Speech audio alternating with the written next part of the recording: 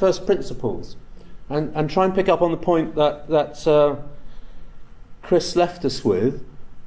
And I'm going to move away from conventions, uh, particularly, and I want to uh, go back to first principles and processes of archaeological heritage management and think about the relationship between archaeological heritage management and public participation and engagement in the context of the shift to new paradigms for culture and heritage. Because actually, I think that's more important than pieces of paper with articles on them.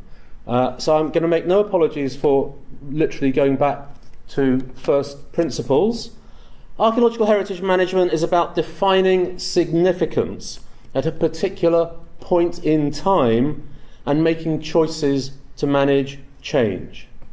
And that requires multiple value judgments to reconcile different or conflicting priorities at each and every point in the management cycle. There is no shortage, as we've seen, of international instruments and guidelines to help us try and do this. But their main focus is on the different mechanisms available to us as professional archaeologists and heritage managers to preserve, conserve, manage, and present archaeological sites. Uh, the Lausanne Charter, for example, requires the cooperation of the general public, uh, whatever that means, and the need for active participation, whatever that means. But its focus is still on management as an expert process, and it doesn't actually help in any meaningful way in telling us how it thinks we ought to achieve active public participation in management. And similarly, the, the Valletta Convention sets out the need to raise public awareness and to promote public access. And we all know and we can celebrate all the successes of the Valletta Convention over the last 25 years. But more often than not, that public access and public promotion is a one way process. It's us educating the public in our scientific and professional values. Usually failing to do that, but that's what we try to do. Rather than understanding and even incorporating public values into our own professional discourses. Preservation in situ, which underpins quite a lot of that heritage management wonky stuff, uh, has been the core principle of archaeological heritage management for many years. But as Dear Willem so forcefully pointed out, I'm not going to use his rather blue language about this, I better not, I get into trouble. Uh, actually, preservation in situ favours simplistic management and it hampers innovative approaches. And the concept is being abandoned already in a lot of quarters in favour of a more nuanced and context oriented uh, approach that balances the requirements of all the different drivers and all the different stakeholders. Uh, which, and that approach is built on an understanding of all the scientific, economic, social, and public values at play in each place at each point in the decision making process. In recent years, many cultural institutions have placed a much greater focus on the human rights and democracy. Leonid has taken us through this as key elements of the heritage equation. And the Florence and Faro conventions both place great emphasis on the importance of social and cultural aspects of heritage. And to a certain extent, this reflects the ever increasing social pressures on us as archaeologists over recent years, which have all resulted in changing social expectations of heritage and a thirst for real public participation and engagement in heritage activities. The Council of Europe has this year launched uh, a cultural, European cultural heritage strategy for the 21st century. Uh, and this gives a very welcome recognition not only of the importance of public participation, but also the need to develop practical mechanisms to empower public participation in heritage governance. Scary concept. But like many other similar instruments, it is high level and aspirational and still gives too much emphasis to one way promotion of heritage. The language of archaeological heritage management, as exemplified by recent instruments and strategies, is therefore beginning to reflect some of those broader social and public values. But, but this alone is not enough, and the, the cultural paradigm, as recently summarized by Pierluigi Sacco, is changing and evolving to one that is characterized by open communities of practice organised on networks where the distinction between producers and users and content uh, is co created. This is the cultural paradigm, uh, and we all recognise that in the digital era that we live in. And it is easily possible to read that trajectory straight across to the heritage world and, and perceive a heritage, a new heritage paradigm. In simplistic terms, this marks the shift from a heritage dominated by us, experts, uh, to a heritage where, and, and, of which preservation and conservation is the priority, to one where entertainment and market forces are the dominant concerns, Time Team and BBC or whatever, however you want to look at it, to a situation that we're partly in but is coming at us head on, where everyone is involved in the production, circulation, and conservation of heritage, so that heritage is made, preserved, and enjoyed by the whole community.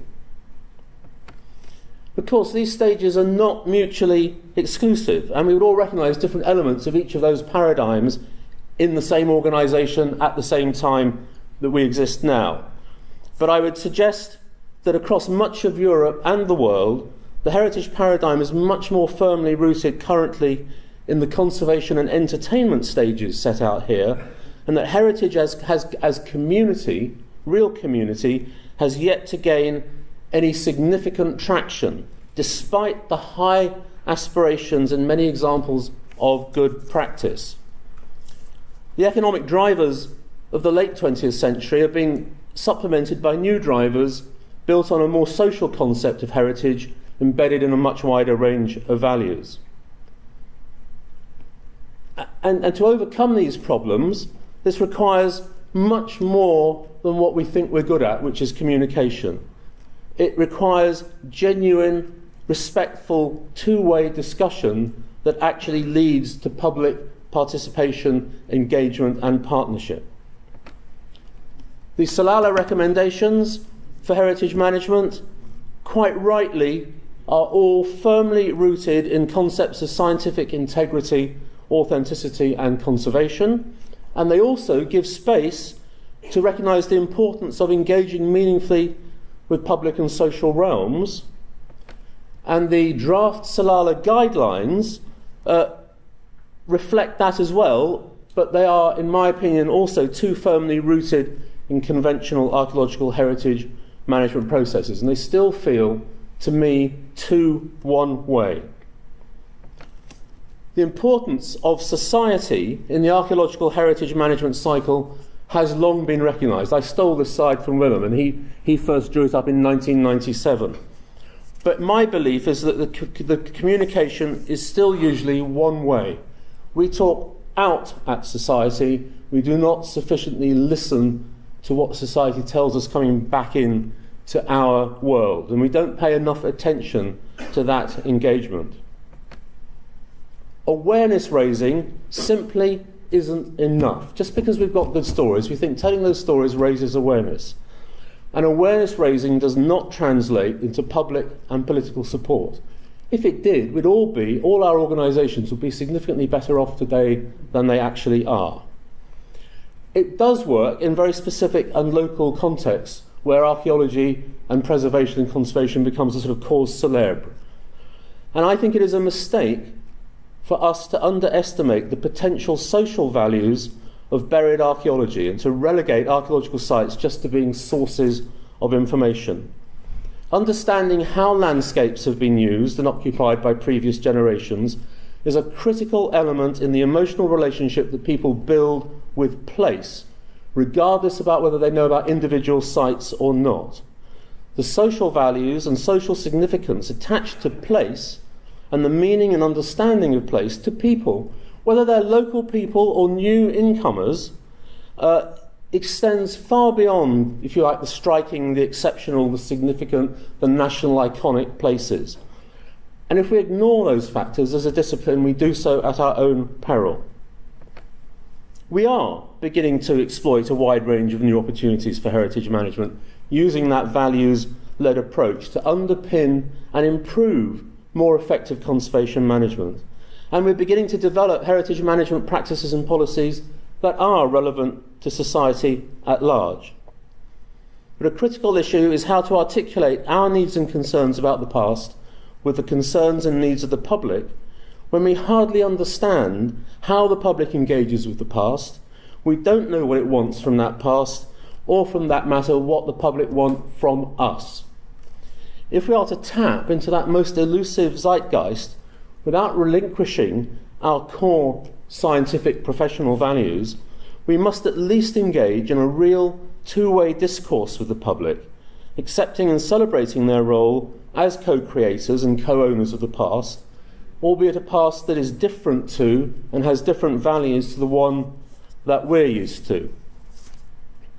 That goes far beyond imposing our values on the public, telling them or persuading them what to think and value about the past, and far beyond simply entertaining them through our exciting or not stories.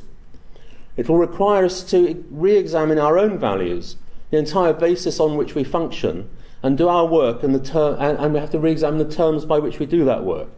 We need to blend the best of existing heritage management practice with mechanisms for meaningful public engagement to create real partnerships.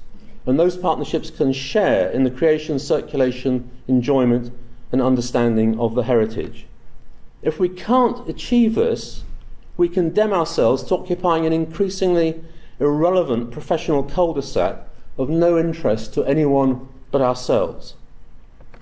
If we can avoid this evolutionary dead end and engage with the public successfully as real partners, we will need to bring to the table a view of the past that is not only inspiring and compelling, but that is genuinely, openly and accessible, and that integrates archaeological heritage management in the social dimension of public life. And I suppose my thesis is this is what we need to do. I don't care whether we have a global convention or not. I agree with everyone else.